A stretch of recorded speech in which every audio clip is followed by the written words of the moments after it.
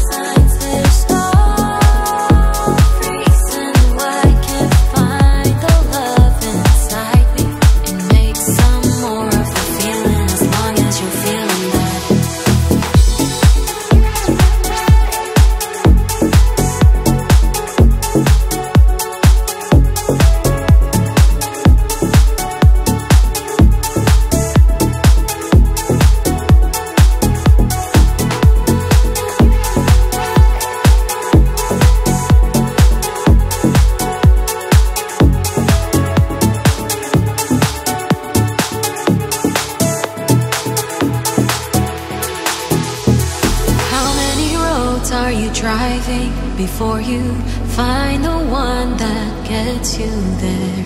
And how many go arriving, but you've been going nowhere, going nowhere? If you don't read the signs, there's no reason you can't find another turning and make some more of the feeling as long as you're feeling that.